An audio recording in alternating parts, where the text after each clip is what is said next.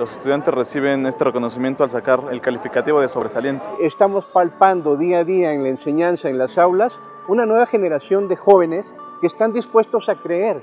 Considero que es un logro personal y pues me siento muy contento de, de poder estar acá con mis demás compañeros de, de la universidad recibiendo esta distinción. El Ceneval está midiendo realmente la calidad de los estudios que nosotros estamos impartiendo en Derecho. Es una universidad eh, que tiene un camino muy marcado en cuanto a una doctrina humanista. La Ibero se está preocupando y no solamente eso, se está ocupando y creo yo, por estos resultados, de manera eficaz de atender los problemas de la sociedad. Como abogado es muy fundamental tratar de ayudar a, a, los demás desde donde uno esté. Ahí es donde entran los valores, ahí es donde entra la actitud. Los profesores son muy importantes porque son los que te dan las herramientas. Solamente tienen que tomar lo que por derecho les corresponde en la vida.